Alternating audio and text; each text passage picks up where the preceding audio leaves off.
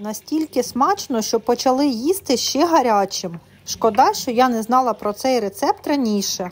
300 грамів абрикос нарізаю на шматочки і викладаю в сотейник. До них додаю 3 столові ложки меду. Хто боїться нагрівати мед, замінюйте його на цукор. Я не боюсь.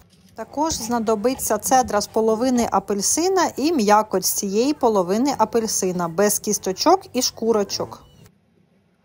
100 грамів вершкового масла також відправляю до абрикос.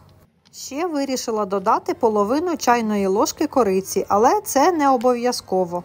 Ставлю абрикоси на плиту і на середньому вогні варю 20 хвилин, а потім перебиваю погружним блендером до однорідності.